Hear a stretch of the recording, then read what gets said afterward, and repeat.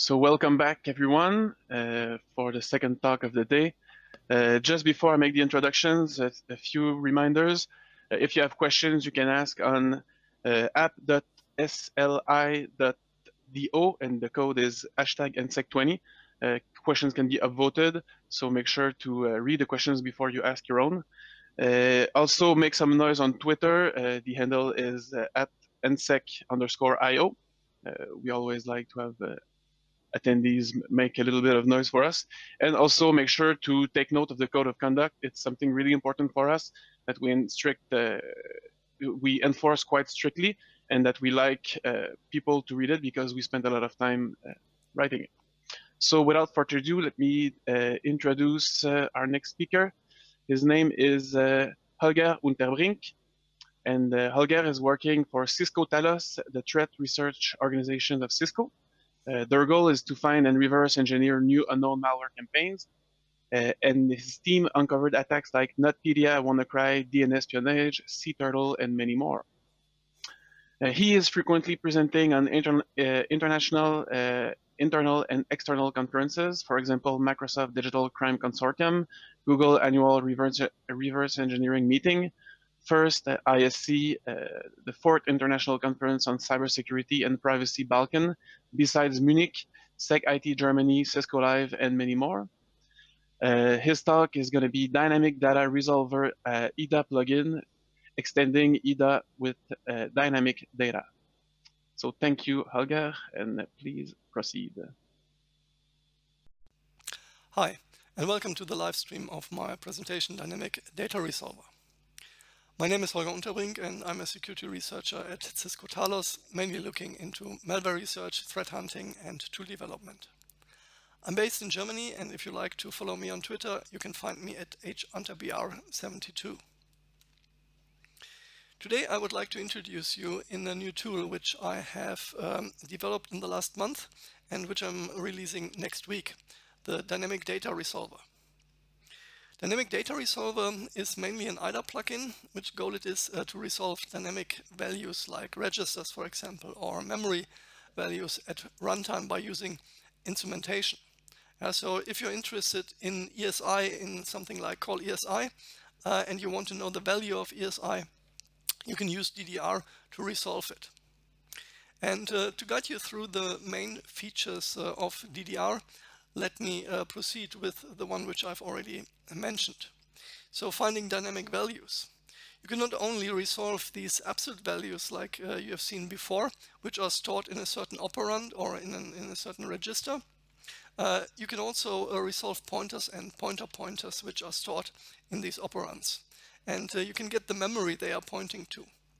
So um, if you are analyzing an unpacking routine, for example, and you see that uh, EDI is uh, pointing to a buffer which is uh, which has uh, the MZ at the beginning, then uh, you might be lucky that you have found the um, next stage of the unpacking routine which constructed the PE header. And this is just one example where it can help you um, to to analyze a malware sample statically. Of course, there are hundreds of others, uh, other things like uh, crypto routines uh, and uh, many, many other things uh, where it is pretty handy to get these dynamic values inside of your static analysis. As far as uh, DDR is almost instrumenting every single instruction of the executable, depending on what you have, what command you have picked, you can also easily use it for code coverage. And DDR is not only marking the instructions which were executed, uh, it is also marking it with a certain color depending on how often uh, the instruction was executed. Uh, if you see an instruction which, uh, which is marked uh, light green, you know it was executed once. If you um, see an instruction with, uh, let's say, dark red, with a much warmer color, then you know that it was executed many more times. And with this, uh, it helps you to find, for example, crypto routines, which are often looping uh, through the same basic blocks, etc., etc.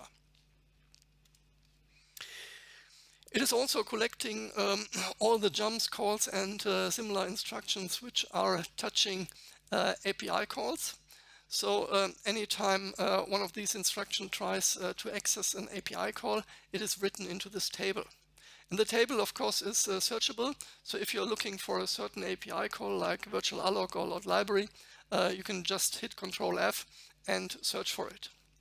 If you then do a double click on um, the line, it, uh, it, brings you directly to um, the um, to the program counter inside of your disassembly uh, to the location where um, this API call was accessed. Uh, so you can see exactly the instruction which uh, tried to access this API call in your disassembly. Pretty much the same applies for strings. DDR tries to collect interesting memory location, which are looking like strings. So uh, it is putting all of them uh, in this table, which means you can search for certain strings like MZ or anything else you're interested in, and then again do a double click uh, on the line and it brings you to the instruction which uh, accessed this, um, this string at runtime. You can also dump buffers in a smart way. You just have to hand over three parameters to uh, DDR, the uh, buffer size, the buffer address, and uh, the um, actual location where you want to dump the buffer or when you want to dump the buffer. You're doing that by um, marking the um, operand, which stores the size, for example, and then you are selecting uh, use marked operand to get buffer size. So at runtime, DDR will read the value from this operand, no matter if it is an absolute value, like you can see here on the slide, the C8, or uh, if it is a register or something like that. Uh, you're doing the same for the buffer address and um, for um, the location where you want to dump the buffer. Uh, so if you have something like virtual alloc, you know that um, the uh, function returns uh, a pointer to the allocated buffer in RAX. So you would mark RAX and pick the uh, use marked operand to get buffer address menu point. Then um, you're looking in your disassembly uh, where this buffer is filled with something you're interested in you're marking the line and you pick the mark address to dump uh, buffer to file uh, menu point and you are done. Yeah? The only thing which is left is uh, you have to execute the sample and dump the buffer. And of course, uh, you can do that multiple times in the executable. so you can dump multiple buffer buffers in uh, one step. Of course, uh, today malware comes often with anti-analyzing checks. And if you want to disable and patch these uh, anti-analyzing checks, you have three different options. You can either use uh, the NOP out functionality by uh, marking these uh, instructions which you want to disable, and then they are getting NOPed out at runtime. Or if you want uh, to manipulate the control flow, you can just patch certain flags in the eFlag register. Uh, so if you have a conditional jump, for example, something like uh, jump not zero, uh, you can mark the line you can click toggle eflag at runtime and you would uh, manipulate the zero flag, for example, and toggle it, which means that at runtime uh, it would get the exact opposite value, which means uh, the jump would do the exact opposite, opposite thing uh, than it would do uh, if you would execute the sample in a normal way. And last but not least, um, you can also completely skip functions if you like. If you have a function, let's say something which uh, detects a virtual machine, um, and you want to skip it, you can completely skip it and uh, return a faked return value.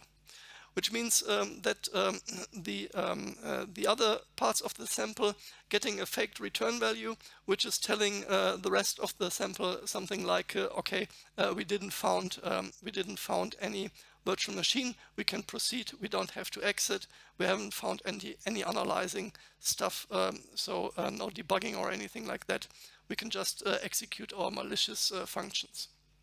so you can skip the function and fake any return value which you would like. If all of that is uh, not enough uh, to do a static analysis um, of the sample, you can also create an uh, x64dbg script. And uh, when you're creating the x64dbg script with uh, DDR, it builds a script which is uh, also applying all um, the patches which you have uh, set up before. Yeah, all the patch, all the patches which I've talked about on the slide before. And it is um, writing them into an x64dbg script and using the x64dbg um, uh, script language to implement these, uh, these patches. And then it is breaking at um, the address which you have uh, highlighted in IDA.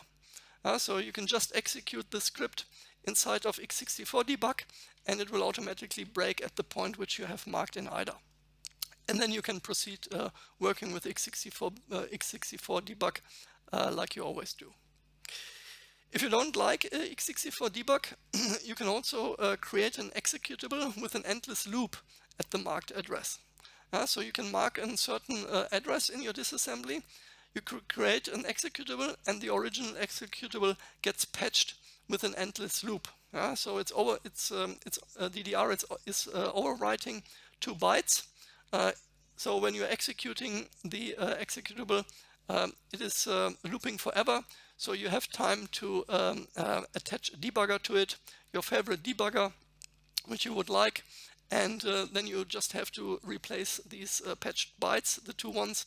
You can use the DDR output for that, uh, like you can see here on the bottom um, of the of the of the slide, and then you are just replacing the original uh, the original bytes back, and then you can just proceed debugging with your favorite debugger.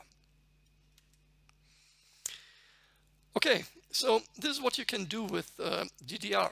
Let me talk a little bit about the architecture of DDR.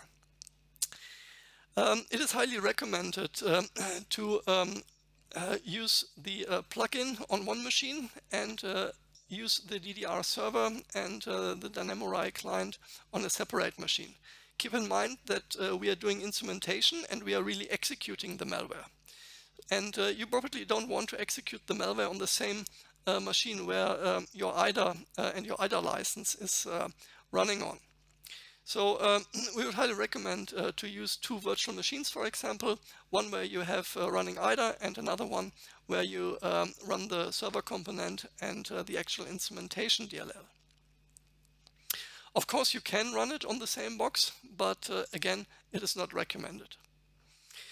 The way it works is that um, the IDA plugin is sending the commands to the DDR API server, and the DDR API server is controlling a command line tool, the DynamoRIO client. Yeah. This is a client which you can also run standalone. Yeah. For example, if you want to analyze the sample on a completely air-gapped system, yeah, and uh, you don't want uh, to access it uh, via IDA, uh, you can just um, install the DynamoRIO client on that box, which is pretty easy. And um, you can put nothing else on this physical box. It's completely air-gapped. Um, this malware sample gets instrumented. It is collecting all the interesting data. It's writing this data to a JSON file, and then later on you can copy the you can copy the JSON file um, to the analyst machine and read it into IDA if you like, and then you can use uh, the IDA plugin uh, pretty much the same way like uh, you would have used the plugin uh, from the beginning on. so these are the two options. Either you're running it manually on the command line or you're doing everything from the IDA plugin and the whole process is uh, fully uh, automatic. As you have seen on the slide before, I'm using the DynamoRIO instrumentation platform for doing all the instrumentation. And um, the reason for that is that um, DynamoRIO is an extremely rich uh, API for instrumentation. It comes with uh, a lot of different tools. Um, it comes with a lot of different API functions, which are helping you a lot when you are trying to implement something like that. So you don't have to think. Uh, you have to. You don't have to think about uh, about a lot of um, underlying issues for all the different architectures, for example, and so on. Uh, um, no matter if it is uh, x64-bit or x32-bit, um, DynamoRIO is able to instrument uh, the binary no matter what uh, kind of sample you have. DynamoRIO also comes with an uh, BSD license, which is pretty nice, so you can easily use it inside of uh, your tools. And um, another really important point is um, it is supporting self-modifying code. and it can also trace files uh, which are starting uh, threads. It's multi-threaded capable, and it can even trace um, uh, new processes which uh, your sample is executing. And the probably most important thing, uh, it is really well documented. Uh, I don't really want to compare it to, um, to Intel Pin, but it is doing a pretty similar thing. Um, except of um, that I like it a little bit more and um, it is, at least in my, um, from my point of view, a little bit better documented. The installation is also super, in, super simple. You just have to unpack a zip file and that's it. Um, so it has a lot of advantages. And as far as we already have a pin tracer inside of IDA, I don't want to invent the wheel again. So I picked DynamoRio uh, for this implementation. DynamoRio is around for at least uh, 10 years, I would say. It's uh, pretty stable uh, and again coming with a lot of features. And the main feature, or the most important feature, if you want to analyze uh, malware sample, samples, is probably that um, it is built from scratch uh, with the idea of uh, being totally transparent to the instrumented malware sample or to the instrumented sample. with this, um, you can still detect DynamoRio if you're actively looking for it, but so far I haven't seen uh, much malware which is actually doing that. Uh, and hopefully even after the presentation that doesn't change, but uh, I'm keeping my fingers crossed. So um, the way it works is uh, you are executing a Dynamo Rio client by executing, for example, the drrun.exe one uh, the drrun tool, and um, you can use your own DLL, which is uh, the main engine of the instrumentation. Yeah, the DLL is collecting all the data, it is uh, controlling the instrumentation, and uh, then also sending um, uh, sending the data back uh, to the JSON files. Um, and the way you would execute that on the command line is just by um, the way you can see here on the slide. Yeah, drrun exe DRL, DLL, uh, DDR, DLL, and then uh, the DDR, DLL config parameters, and then um, uh, the sample which you want to analyze. And the result, as I mentioned before, is a JSON file. And then you can either import the JSON file to IDA, or um, you have done this whole process uh, automatically by using the IDA plugin. This is how the uh, JSON file looks like. And you can see that it is collecting pretty much all the registers uh, and all the interesting memory points um, or pointers um, at more or less every single instruction. Uh, and as far as uh, this is of course generating a certain um, overhead, uh, you have, an, you have uh, several options inside of DDR to only do the instrumentation for certain basic blocks, for example, or for, or for certain uh, ranges um, for certain instruction ranges inside of your executable. Uh, and uh, with this, it's still extremely fast, uh, even that fast that even time measuring um, anti-analyzing routines are often not detecting that anything was instrumented. The whole workflow works like you can see here on the slide. The first thing you have to do is, if you want to use the plugin, you are uh, executing the DDR server, uh, which is the API server, which you have seen before. Um, then you are uh, launching IDA on a different machine, and uh, you are picking a command inside of DDR. you just do a right mouse click and uh, execute, for example, a light trace, which is uh, through the whole segment, to the whole um, code segment, for example, and collecting a certain amount of data there. This command is uh, sent over an, over an, encrypted channel to the server. The server is then executing um, the DynamoRio command line and the DLL. The DLL is generating the JSON file and then finally the JSON file gets uh, sent to um, the uh, IDA plugin with uh, by the by the server and then um, you can use this data inside of your static analysis yeah, by just right clicking on an operand or on, a, on an instruction line and uh, picking some of these uh, menus. Uh, so get value for source operand, for example, or get the value of a certain register, whatever you are interested in. By the way, um, you can see here on the right side of the screenshot um, something like xax uh, equal no data. Um, that doesn't mean that uh, we haven't found any data. That just means that uh, the absolute value which was stored in EAX is uh, the 27B6 and um, this is uh, just an absolute value which is not pointing to anything. Uh, so you know that um, there was not a pointer or pointer pointer stored inside of um, this register. It is just an absolute value which was used in the instruction.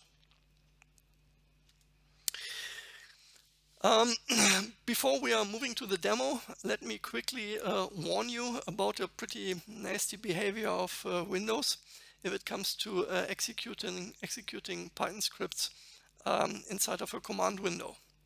Unfortunately, if you're marking any text inside of the window, um, inside of this command window, uh, Windows will freeze um, these, uh, this Python application. Uh, so it's not getting executed until um, you are hitting escape, um, which means that uh, your DDR server is pretty much frozen and uh, of course, it will not um, accept any uh, commands from the plugin anymore. Uh, so if you are receiving a timeout error or something like that uh, on the IDA plugin side, it is very likely that you accidentally marked or highlighted something here in the uh, DDR server output and uh, that has frozen the server.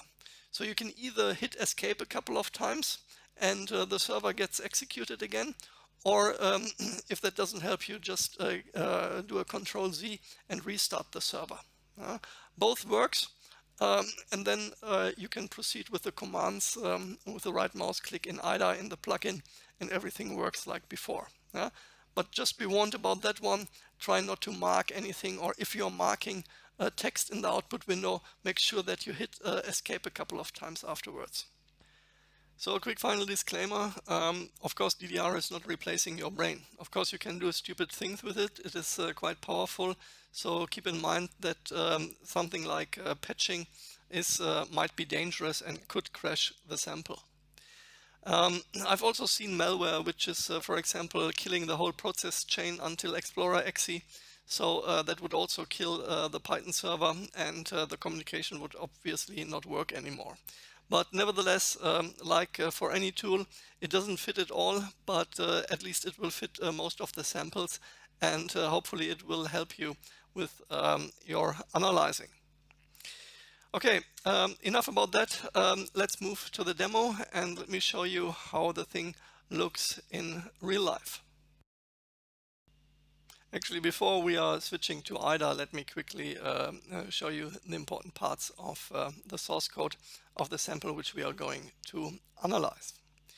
The first thing um, is that uh, the sample is comparing um, its uh, process name with um, evilmalware.exe, which means if um, its process name is not evilmalware.exe, it will uh, copy an instance of itself to the temp folder and um, then it is executing this uh, instance. So the first uh, instance is just uh, leaving and uh, the second one is recognizing that it is running under the process name evilmalware.exe so the comparison is not true and um, it will uh, just print out this message new instance running from temp folder and then proceed with the rest of the code. Again, I don't want to go through all of the source code, just uh, the important parts for the demo. And one thing you should recognize is that uh, A can never be bigger than 5. Yeah? We are doing a mod 5 here, so uh, there's uh, no chance that A can ever be bigger than 5, which means that um, the following comparison will always be not true. Yeah? And um, it will always print out the uh, message a is not greater than 5, at least in theory, because uh, we will see later on during the demo that uh, we can patch this behavior inside of uh, DDR. The last thing uh, which you should keep in mind for the demo is uh, that um, after this comparison we have a dialog box which is asking for a value. Uh, this value is getting assigned to A, but that's not really important. The important part is that you remember that there's a dialog box which uh, would stop the execution of uh, the sample. And of course, we don't want that. Uh, we want to uh, get it executed um, in one step. So uh, we will also uh, NOP out later on this, um, this dialog box uh, and skip it. Okie dokie. Um, with this, um, let me switch over to IDA. Okay, so we've loaded uh, the sample into IDA and we move to the location where it is uh, comparing the process name with evilmalware.exe. So usually the sample would be executed uh, with a different process name and uh, it would go this path where it is uh, just copying itself and launching a second instance of itself. But of course we are not so much interested in this path, we are more interested uh, in the other path uh, and um, the rest of the sample code. So what we want to do is uh, we want to patch this comparison and um, we can do that by toggling the zero flag, for example. Uh, it's a jump not zero, so uh, in, if we are inverting the zero flag, uh, it is doing the exact opposite of uh, what it is supposed to do. So we go and go to uh, the DDR patch menu, toggle E flag, we are picking the zero flag, the F flag, click OK, and that's it. The next thing uh, which we want to do is um, we want to get rid of the dialog box, as I mentioned before. So we are moving over to that part of the code. We are marking the code and uh, we can just NOP out all these instructions at runtime. Uh, again, we are moving to the patch menu and uh, we are picking the NOP out marked instruction at runtime option. So now um, we can execute another DDR command. So for example, we can run a trace if we want to get a code coverage, for example. Uh, we do that, um, we have to wait a little bit um, and uh, it has sent the um, command to the DDR server, the DDR server has executed it and sent back the analysis in form of the JSON format. So you can see here the light trace is done. If we are now moving back to um, the process check and um, if um, we highlight all the instructions which were actually traced, uh, we get a nice code coverage and uh, we can also see that um, the other path was executed. Even if the process name was not evilmalware.exe it uh, went this path and uh, it has executed all these uh, all these instructions here. Uh, and it has also skipped that part at runtime Before uh, I'm moving to the next feature, I would like to come back to uh, the warning which I have mentioned during uh, the presentation that uh, you should be very careful with marking the output text of uh, the DDR server. Uh, so for example, if I'm moving over to the DDR server and um, if I'm marking something, yeah, it can even be just one character as long as something is marked in this window, the process is frozen. And uh, if we now try to execute a trace like we did before, for example, uh, then uh, it will run into a timeout. Uh, it takes a little bit and uh, pop, uh, you see fail to run trace for segment. Um, if you are running into this and if you want to test if the communication is working between the server and the IDA side, you can always test that with your browser. Uh, if you're going to the root directory of um, the server, uh, you can just uh, uh, do that in your browser and you see that it is timing out. so um, if we are moving again over to the DDR server, uh, I can hit escape a couple of times uh, and you see all the commands are coming back in and um, the application is now unfrozen again. If we are doing the test again, you see that uh, this uh, counter is now counting up and the communication is working again. So I could now move back to IDA and uh, run the trace again or whatever I want to do. Um, and now the trace will be executed uh, as you have seen before. Uh, done. Okay, so after we have analyzed the sample uh, and we found an interesting buffer which we want to dump to disk, we can do that the way which I've mentioned during the presentation. Uh, so we have, for example, virtual alloc, and we know that uh, this parameter is uh, the buffer size. So we can just go to the DDR menu dump, and uh, we choose that one as uh, the buffer size. Then uh, we are marking RAX because we know that this is including the pointer which is pointing to the buffer, and we are heading that over to DDR. get buffer address. So now um, we need to find um, the location in the code where uh, this buffer is filled with uh, something interesting, which is in this case here. So we are just marking the line and um, we are handing over the third parameter to the dump and uh, we are done. Uh, we can now see that uh, DDR has all the parameters which are necessary to dump this buffer. So now we can finally execute the sample and uh, write the buffer to disk. So again, the sample gets executed and uh, the buffer gets dumped to disk. So uh, we can write it somewhere to the desktop, for example. And uh, you can see now it is the buffer which we have, uh, or it's a string which we have copied into the buffer. So the last thing which I would like to show you is how you can generate x64dbg scripts. And um, as I mentioned before, these scripts are including all the patches which uh, you have done before. To demonstrate that, uh, let me manipulate this comparison where we are checking if a is bigger than uh, 5. Again, we are going to the EFLAGS uh, menu and uh, as far as uh, it is this time a jump less equal, we have to toggle the SF flag. Okay, so now we are done and now we can generate the script and the x64dbg script. Now it has generated this uh, script and sent it over to the malware side, so where the server is running. We can now load the x64 debugger, go to scripts and uh, load this file. So now you can see that um, it is doing all these uh, patch tricks which you have seen before. And uh, we can execute the script. And now we can move to the different breakpoints. So here we have uh, we break right before uh, this comparison. And uh, you can see if I'm stepping over it that it has manipulated the uh, SF flag and the comparison now thinks that a is greater than 5, uh, even if that is uh, theoretically impossible.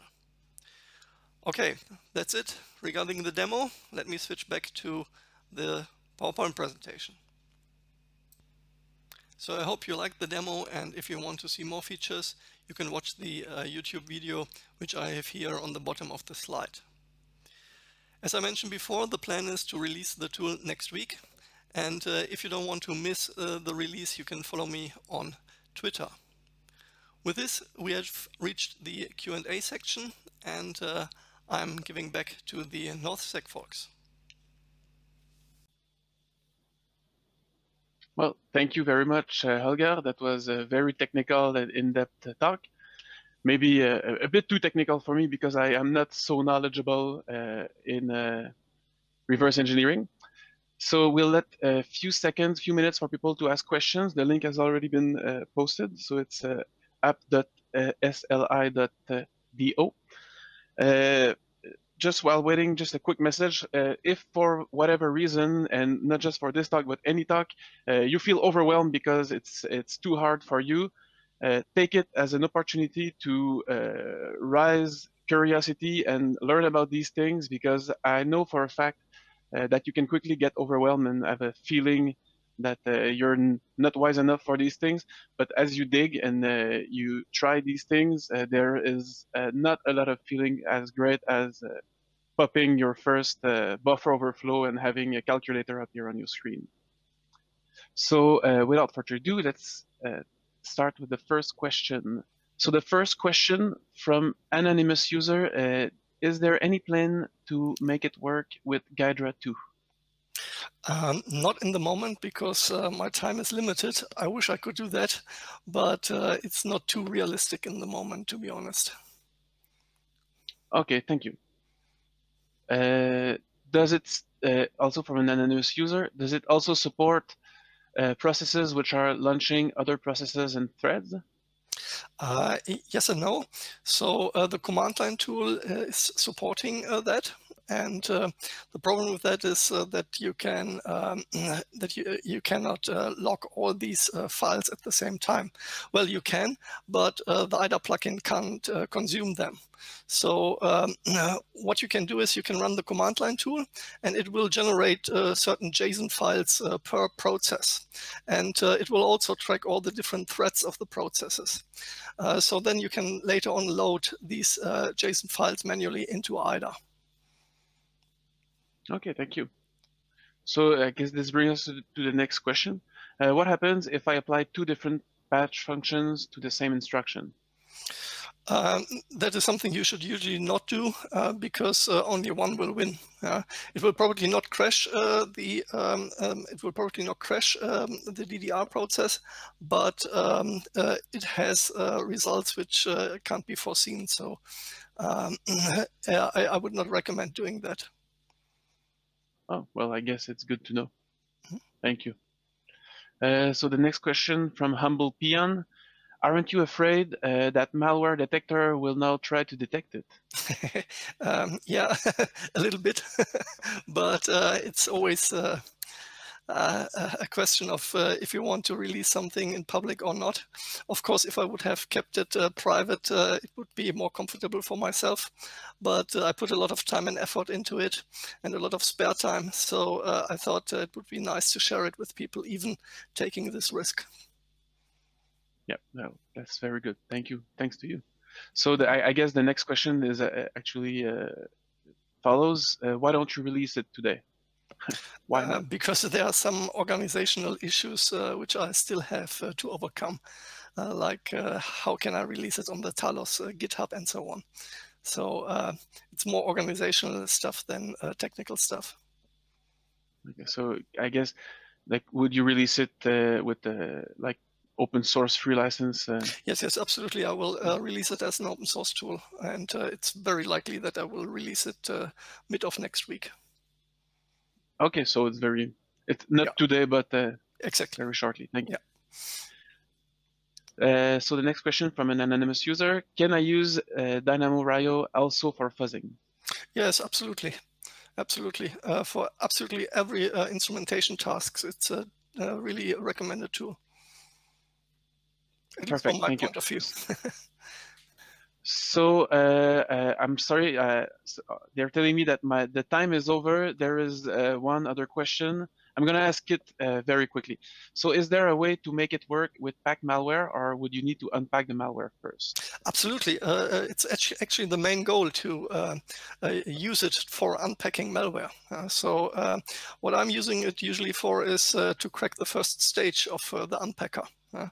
Um, of course, if um, if uh, you have a code which is uh, unpacking something and copying something to a buff buffer which you can't see in um, in your disassembly, um, then you probably can't um, uh, use it for the second or third stage.